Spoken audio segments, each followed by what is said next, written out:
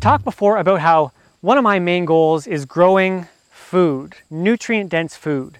Uh, and I also want to get flowers growing in here and I want trees and shrubs and I really want to get a bunch of diversity. But one thing I really want to make sure I have is food. And the food that's coming out of our industrial conventional agriculture is getting to be very poor quality, you know, 60 to 70% lower in nutrients than it was before this whole green revolution started uh, in the last century there.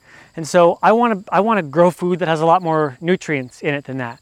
You know, during that time we've increased pesticide use by 1000% and that we're still getting crop loss from from insects alone, crop loss has doubled. So we're, the pesticides aren't working very well, and they're contributing to this uh, loss in nu nutrients in our food. So um, I, uh, if you've read my blog, you know I don't really like to spend too much time complaining about it. I certainly have spent time being down about it, especially when I was first learning about all this stuff.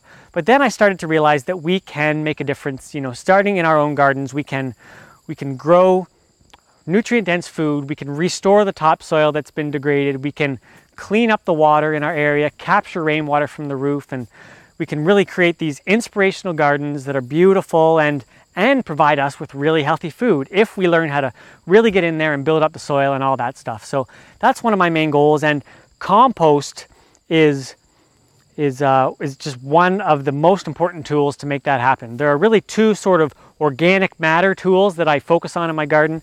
And the first one is compost. Uh, and obviously I can't make compost today. That's gonna take a, a month or two. Uh, I get into that in detail in the academy. But what I wanna talk about today is um, often when I'm in a new place, if I'm starting a new garden, I'm just gonna have to buy compost. And what I'll do here is maybe zoom in on this compost I have here and show you a little bit about how to buy it and how to use it uh, because that's going to be a, an important thing, especially when you're just getting started, when you haven't made your own compost yet. So when you buy compost, you want it to be nice and dark like this. You want it to be, you don't want to be able to discern the raw materials too much. Here, I just have to do this so I can see.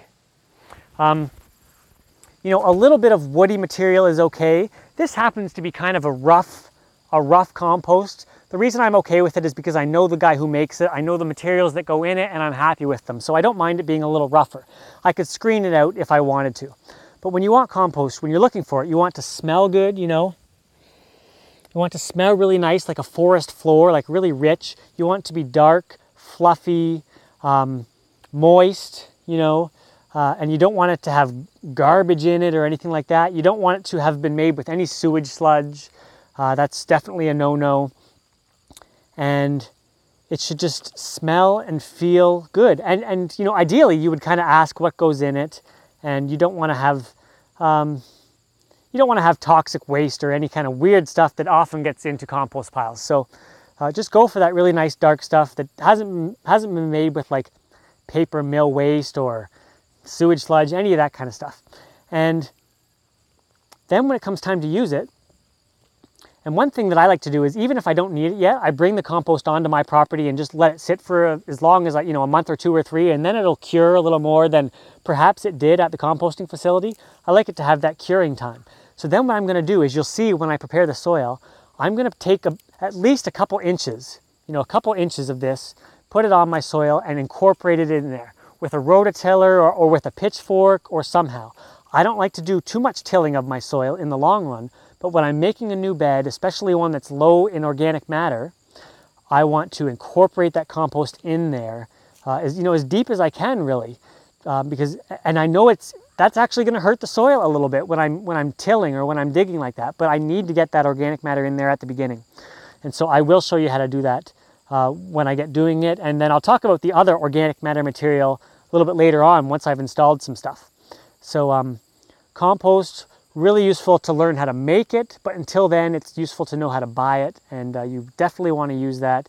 Um, and you know, I guess I kind of I, I, skipped an important step there because some people don't know exactly why we use compost. Um, and so I'll maybe I'll put the camera back up here and talk about that because that would be a good thing to talk about, wouldn't it?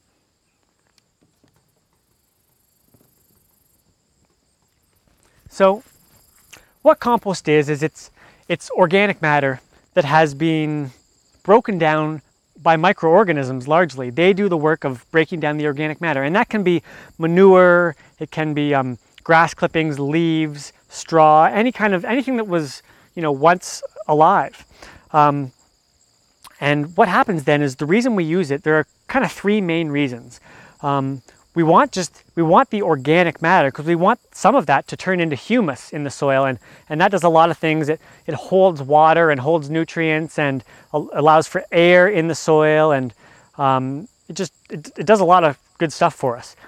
Also it's going to have nutrients in it because when the microorganisms broke down these food scraps manure leaves all that stuff has nutrients in it. And so we it, it's really it, can't technically be called a fertilizer, but you can kind of think about it like that. It, it's a broad spectrum fertilizer. It has a lot of different nutrients in there, especially if it was made with a lot of different sources of organic material.